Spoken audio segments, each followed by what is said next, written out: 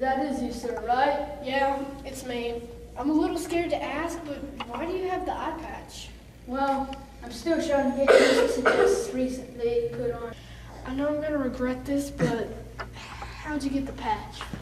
Well, I'm not sure I can talk about it, but I'm still madder than a hornet. But I tell you this, I showed him a thing or two. Showed who a thing or two? You know, the new guy in Company B. Rusty? I met him yesterday. He seems like a nice guy. He's a nice guy. Oh, no, no, no, no, no. He is mean as a snake.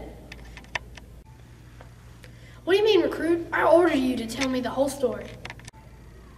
Well, at first, I thought he was a nice guy, like you. You know, if I think about it, that's how it all started. We all started by playing the game Stare Out. Stare out? What's that? Stare Out is a game where you look at each other for the longest. First person to blink loses. Stare out? Sounds fun. So, anyway, how'd you get the patch? Well, we were five minutes into our stare out game, then all of a sudden, a bee landed on my nose. And Rusty, he saw it and he knew how allergic I was to bees. So he swatted at it, I panicked, and I moved, and he hit me right in the eye. It sounds like he was trying to do you a favor. Do you consider poking a person in the eye a favor? Please never do me any favors then, Sarge. I got him good, though. What did you do to him? Well, since he poked me in the eye, I poked him back, an eye for an eye.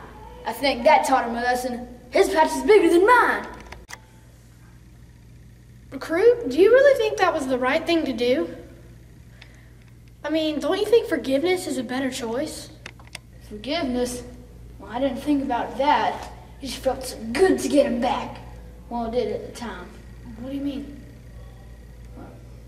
Well, well, if I think about it, it really wasn't that good.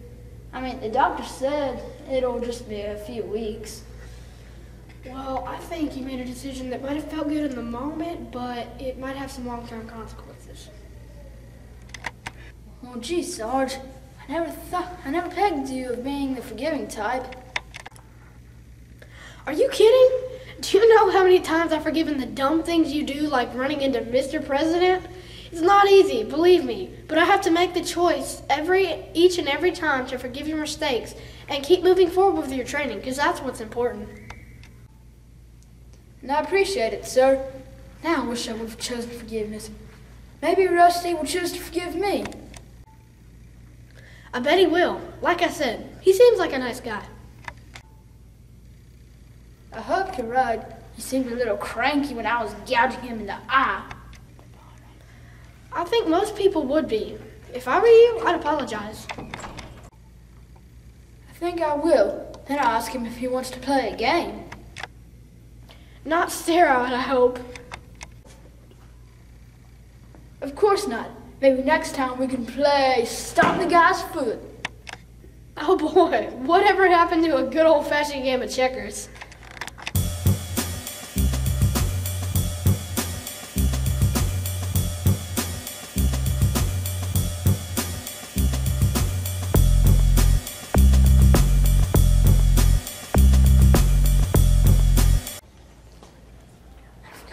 avance.